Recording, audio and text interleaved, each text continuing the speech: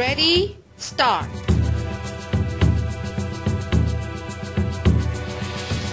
In our daily life, we are bound to face the issue of calculation.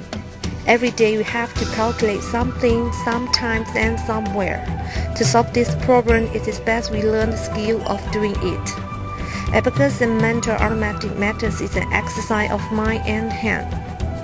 When our fingers are operating the abacus, similarly our brain is also at work.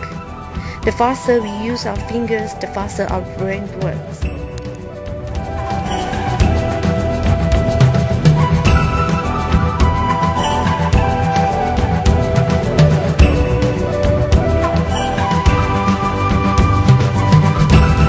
The answer is 6, 3, 1.